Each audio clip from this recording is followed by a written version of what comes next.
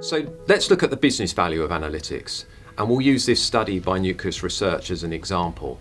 So they found that the return of analytics to the business was $13.01 for every dollar invested. And interestingly, they'd carried out this study three years before when it had been $10.66. So a big increase in the return, and they cited three reasons for this. First, more plentiful data.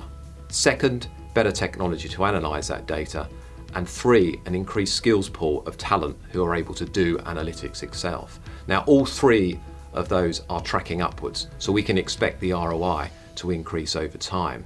And as an example, Credit Suisse found that even one single percentage point of attrition was worth between 75 million and 100 million to the business. So the value of analytics can be very high.